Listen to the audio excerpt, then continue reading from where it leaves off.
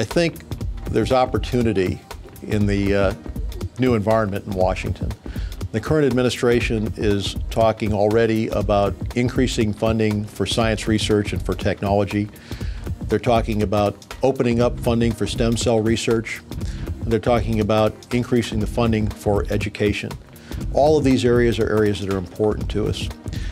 I think one of the challenges we're going to face is how to address the issue of universal health care, something that we've heard the new administration uh, talk about. We've heard uh, the president uh, talk about it as a, as a candidate.